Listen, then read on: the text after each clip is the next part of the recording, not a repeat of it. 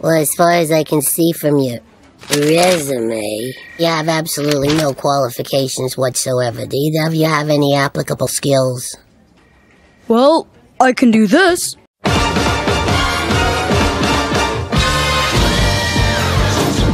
For the third time, Mr. Watterson, rolling your stomach is not a valuable skill in the work environment. Uh, I'm sorry, point taken. Good. Okay, so looking at you.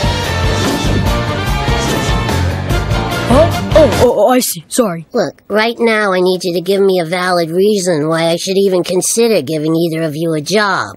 Well, I could touch my nose with my tongue. That's not a skill. This is. You guys want a job? Well, you can have mine! I quit! Good luck!